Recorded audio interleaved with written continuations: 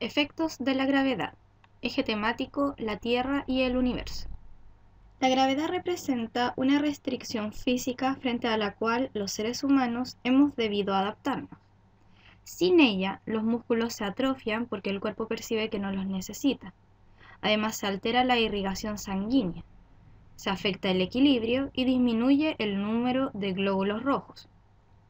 Lo más cercano que podemos estar a la ingravidez es cuando viajamos en avión. Debido a que se afecta el equilibrio, nos sentimos como en una mal posición siempre. También debido a que se altera la irrigación sanguínea, sufrimos de éstasis sanguínea del cerebro. Hay una reducción del volumen de la sangre circulante y hay deshidratación.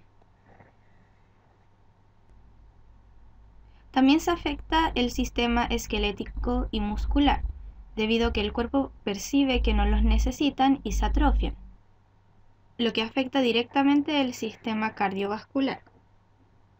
Debido a que hacemos menos esfuerzo, nuestro corazón trabaja menos. Una forma de apalear esto es ejercitándose con máquinas, con estimulación eléctrica de los músculos, aplicación de presión negativa en la parte inferior del cuerpo y métodos farmacológicos.